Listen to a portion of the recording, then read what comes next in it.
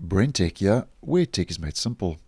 In this video, we are going to have a look at how we can try and increase and protect our privacy from Microsoft while using the Windows operating system. Now, there are a couple of settings um, we can adjust on both Windows 10 and 11 to try and increase and help improve our privacy. But I must just say at the start of this video that Although we can adjust and turn off a couple of settings, you will never completely stop Microsoft from spying on you when you are using the Windows operating system because as many of you may know, there is a lot of telemetry that does go on between um, the Windows operating system and uh, there's a lot of so-called phone in home, but um, there are a couple of settings. We can um, adjust as mentioned, just to help you maybe get a little bit more peace of mind while using the operating system when it comes to your privacy. Now, um, once again, you can follow the steps in this video on both Windows 10 and 11 because the process is very similar. And on both operating systems, just head to your settings menu. And on Windows 11, you head over to the privacy and security menu. And on Windows 10, that would be your privacy uh, menu. And on both operating systems, we are going to be looking at Windows permissions and then app permissions and on Windows 10 that's located here on the privacy page on the left hand side. Now I'm just going to start at the top and just work my way down. Now first of all once again um, just to mention another thing is that um, um, obviously everybody's computing needs are different. So there are settings that I have turned on and off that you may need.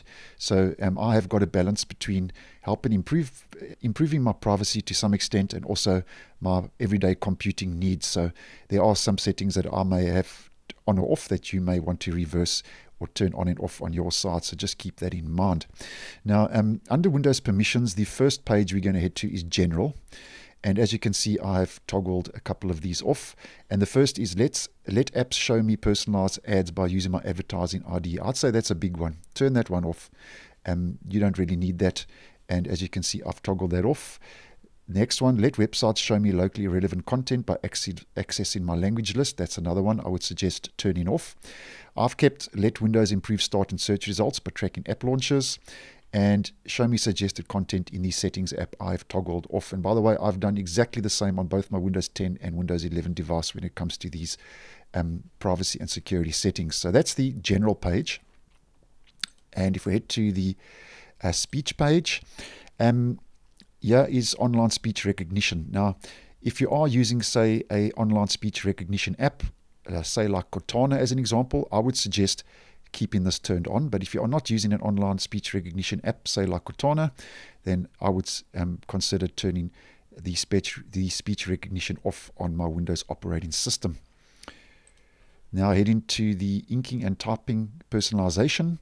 Um, this is another big one. Um, personal inking and typing dictionary. Use my typing history and handwriting patterns to create a personal dictionary.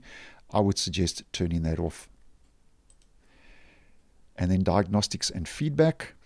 Um, I've sent optional diagnostic data. Now, the only reason I have this enabled is because of some of the web browsers I do feature on this channel, and it needs to be enabled um, for some of those web browsers. But if you are not wanting to send optional diagnostic data, I would suggest turning this off and then only send required diagnostic data. And as you can see, although I've got optional diagnostic data turned on, um, I have turned off improve inking and typing, tailored experiences, um, view diagnostic data. And then another thing I would suggest is delete diagnostic data.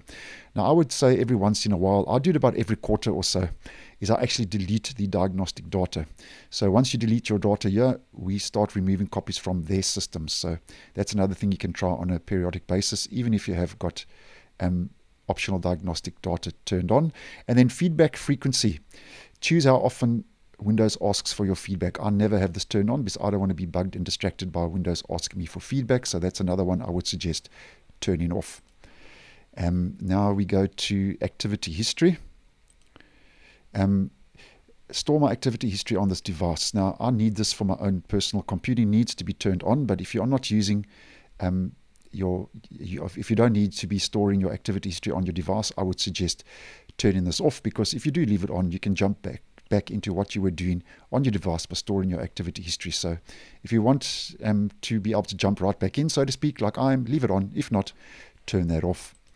And then um, search permissions and search in Windows, there's not much going on there, but there's one more setting um, I would suggest um, just turning off if you're not using it, and that's under App Permissions Location. Now, I have turned on location services because there are some apps um, are required to be using my location. But if you do not need any app, or you don't need a weather app or whatever to be accessing your location or a browser, then I would suggest turning location services off because that's a big one when it comes to your privacy. And it says uh, Windows can use your device's capabilities to determine your location. So um, if you are not using any location services on any apps, I would just suggest turning that off. So that's just a couple of settings, as mentioned, on both Windows 10 and 11. You can try adjusting, and you know you can fiddle around to your own personal um, computing needs, as I did say at the start of this video, and um, turn in a couple of those, of those settings off may be helpful in trying to protect and increase your privacy from Microsoft while using Windows 10 and Windows 11. So thanks for watching, and I will see you in the next one.